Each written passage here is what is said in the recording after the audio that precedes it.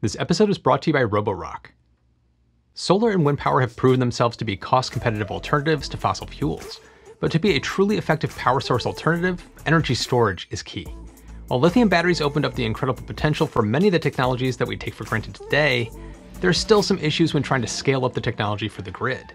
Expensive casings, overheating, relatively short lifetimes, and battery cell supplies are just a few of the challenges for lithium technology. But what if I told you that molten metal might make a better battery? And no, I'm not talking about the end of Terminator 2, but we're talking about lower cost, simpler assembly, zero maintenance, and a longer lifetime than lithium ion. Let's take a closer look at liquid metal battery technology. I'm Matt Ferrell. Welcome to Undecided.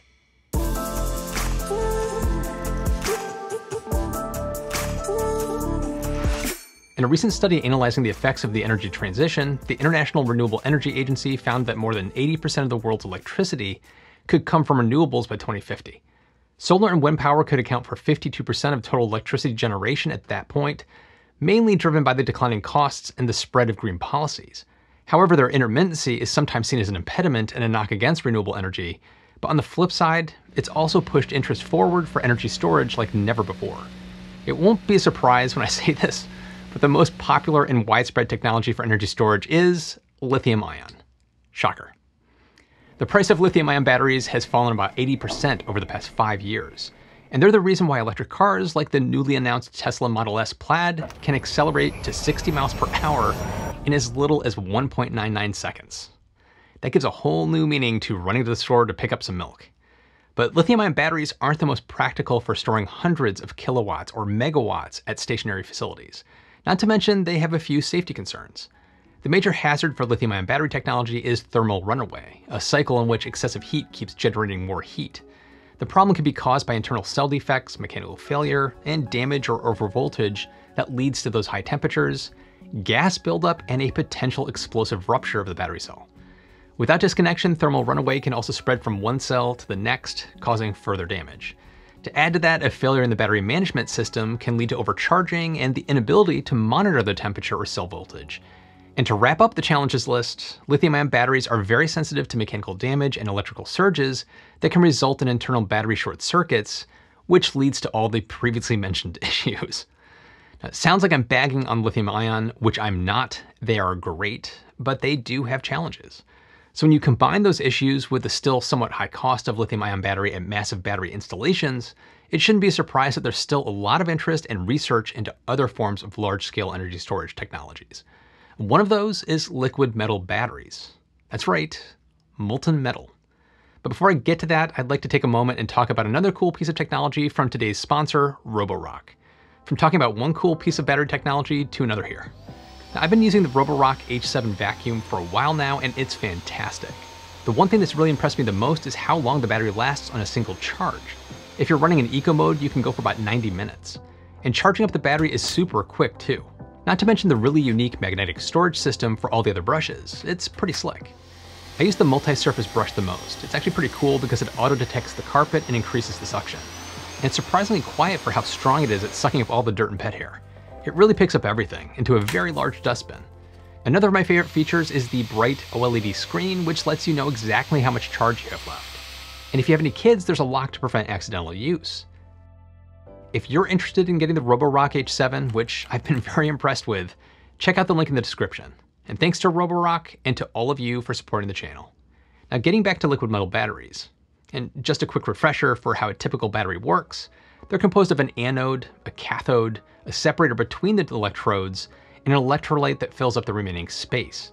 The anode and the cathode are able to store lithium ions, so as energy is stored during the charge cycle, lithium ions move from the cathode to the anode through the electrolyte. When the battery is discharging, the ions flow back towards the cathode, which feeds the load. Unlike most batteries in which the electrodes and sometimes the electrolyte itself are solid, in liquid metal batteries all these parts may be in a liquid state. Professor Donald Sadoway at the Massachusetts Institute of Technology pioneered the research of liquid metal rechargeable batteries, using both magnesium antimony and more recently lead antimony. Now this technology is composed of metal anode, metal cathode, and a salt electrolyte, all in a liquid phase. The anode is a low density liquid metal that readily gives electrons, and the cathode is a high density metal that's happy to accept those electrons. The electrodes are coupled through a medium density molten electrolyte that allows the ions to flow between the anode and the cathode. Imagine taking a bottle and adding a little bit of syrup or maybe honey, some water, and then some oil. And once things settle, you'll notice segmentation in the mixture in three different layers. This happens because of the different liquid densities, and it's exactly what we have here with liquid metal batteries. It's just liquid metals and not delicious syrup, so you really don't want to drink this. Now because of the differences in density and the immiscibility of the three materials, which means they won't mix together, they naturally settle into three distinct layers and keep separate during operation.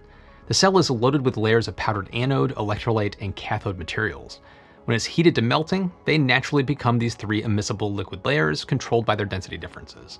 The technology was first proposed in 2009 based on magnesium and antimony separated by a molten salt. Magnesium was chosen for the negative electrode because of its low cost and low solubility in the molten salt electrolyte. Antimony was selected as a positive electrode because of its low cost and higher discharge voltage. And when it comes to the operation, liquid metal batteries operate like conventional batteries. During discharging and recharging, positively charged metallic ions travel from one electrode to the other through the electrolyte, and the electrons flow to the external circuit to supply the load. But you kind of have to prime the pump with liquid metal batteries. The initial startup of lithium metal requires external heating to melt everything. But once the battery is in a molten state, it maintains operating temperature by generating heat whenever current flows during the charge and discharge cycles. It's designed to be used daily and not sit idle for weeks at a time. Ideally, we're talking about like a five hour charge time, a seven hours idle, five hours discharge time, seven hours idle, that kind of a thing every single day. It's why this type of battery makes so much sense for daily renewable energy storage and use. And I know this topic is going to get a lot of comments about solid state batteries, but there are many pros of liquid metal batteries over solid state. They have a fast electrical response, lower mechanical stresses since the electrodes and the electrolytes are liquids, which also means there's no need for membranes and separators. This also improves the long-term stability, the usefulness, and provides lower cost cell fabrication when compared to other conventional batteries. Another reason for the lower manufacturing cost is because the materials used are abundant and cheaper than other materials. But I'll get to that in a minute. Like everything else in the technology world, this isn't perfect. Liquid metal battery cells are composed of highly corrosive components and have a high self-discharge rate for some chemistries due to the metallic solubility of the electrode in the molten salt electrolyte. Bottom line, they tend not to hold a charge for a very long period, and the biggest elephant in the room, and the one that you probably thought of during this tasty syrup explanation, the three liquid layers make the battery operation more sensitive to movement and potentially dangerous when the liquid electrodes touch, leading to a short-circuited cell and fleeting heat generation. Now this isn't the case for all forms of the battery, which I'll get to in a moment, but this isn't something you'd want in your mobile phone, also because it's insanely hot, but it's perfect for stationary uses like grid energy storage. Now, although this technology has many advantages that could make it an ideal solution for grid scale energy storage, it's a technology that's still under development. But when you talk about liquid metal batteries in commercial scale, the Massachusetts-based Ambri is the name that comes up. In 2010, Donald Sadoway, who's the pioneer of liquid metal batteries, together with David Bradwell and Luis Ortiz, co-founded Ambri with seed money from Bill Gates and the French energy company Total. They have 50 patents in the US and around the world covering everything from cell chemistry to manufacturing processes. This is a strong global patent portfolio that gives them a massive edge in the marketplace. Ambri's product is a ready-to-install DC containerized system complete with shelves of cells, weatherproof outer enclosure, thermal management, and battery management system. It's an ideal solution for applications that demand high energy density, frequent cycling, long life, and high efficiency. Cells are assembled into trays and connected with a thermal enclosure to form a megawatt hour scale system. The system is insulated and self-heating so it doesn't require any external heating or cooling to keep the batteries at operating temperature. And the storage capacity can be scaled up by connecting an unlimited number of Ambri systems in parallel. The current system offered by the company can store from 400 to 1000 kilowatt hours, giving up to 250 kilowatt hours of power. Ambri's battery reaches over 80% of efficiency under a wide operation range, similar to lead acid batteries like you have in your car, which achieve efficiencies closer to 80 to 85%, but it's also considerably less than most lithium ion batteries that we usually see around 95%. During transportation, cells are shipped at ambient temperature and are inactive, which provides significant safety advantages during the assembly and transportation.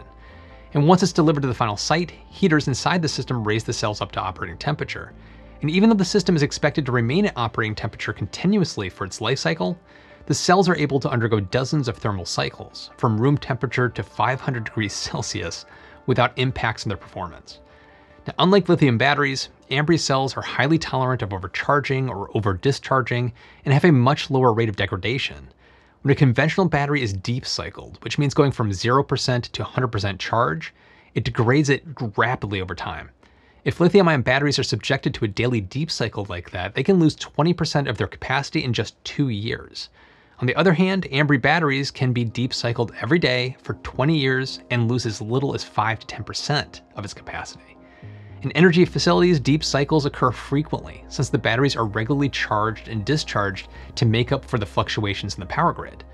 Ambri's liquid metal battery is made up of a liquid calcium alloy anode, a molten salt electrolyte, and a cathode comprised of solid particles of antimony. It enables the use of low-cost materials and a low number of steps in the cell assembly process. But when it comes to cost, the Ambri battery is currently more expensive than lithium batteries. Still, as production technologies improve over time, the price is projected to come down. There's a cost advantage over lithium ion with the cost of the electrodes. The active materials are only $17 per kilowatt hour, while lithium ion is around $51 per kilowatt hour. That means Ambri based systems are projected to cost between 30 and 50% below the equivalent lithium ion systems between 2023 and 2030 even after accounting for the aggressive lithium ion cell price reductions according to the Bloomberg New Energy Finance. And just like all new energy storage technologies like this, Ambri is starting with initial demonstration systems. By 2022, they want to have 1 megawatt hour commercial system developed, certified and deployed for trials, and in 2023, their target is 250 megawatt hours shipped for commercial products. Kicking things off, they recently signed an agreement with TerraScale, as part of the agreement, TerraScale and its data center development partners will integrate an Ambri energy storage system in Reno, Nevada. There's already 10 megawatts of solar generation built into the site, which TerraScale intends to bring up to 500 megawatts, and there's 23 megawatts of active geothermal power with a rated capacity of 48 megawatts. Adam Briggs, Ambri's chief commercial officer, said, the collaboration is underway and includes delivery of 250 megawatt hours of Ambri systems to TerraScale's first project in Reno, Nevada, starting in 2021. The Ambri systems are particularly well suited for the project's high desert operations, for the shifting of its large amounts of renewable solar load, and for its grid system peak shaving capability. With all of the liquid metal advantages I ran through, there are challenges since most current technologies operate at temperatures above 240 degrees Celsius to keep the metallic electrodes in a molten state, which can obviously pose some serious problems. In addition to the complex thermal management, there's also the concern about corrosion. Professor Guihua Yu and his team from the University of Texas at Austin carried out a study on room temperature liquid metal batteries that used a sodium potassium alloy anode and a gallium based alloy cathode. According to the researchers, the metallic electrodes in the team's battery remain liquefied at 20 degrees Celsius, which is about 68 degrees Fahrenheit. It's the lowest operating temperature ever recorded for a liquid metal battery. The researchers have been working on this project for three years, but its work's not completed yet. Finding an alternative to the expensive gallium that can provide the same performance remains a major challenge. Overall, the cycling stability, the requirement for less maintenance, and the lower cost and availability for manufacturing provide a lot of room for liquid metal batteries to catch up for grid energy storage. It's expected to reach a market value of about $6.7 billion by 2027. It's always important to remember that there's no one technology to rule them all. Having more options like this can help with our need to stabilize energy generation from cheap, intermittent renewables like solar and wind. But what do you think? Does storing energy in molten metal sound like a good idea? Do you think it has a chance to catch on in the next few years? Jump in the comments and let me know. I keep having visions of the end of Terminator 2. if you like this video, be sure to check one of the ones I've linked to right here. Be sure to subscribe and hit that notification bell if you think I've earned it. And as always, thanks to all my patrons and to all of you for watching. I'll see you in the next one.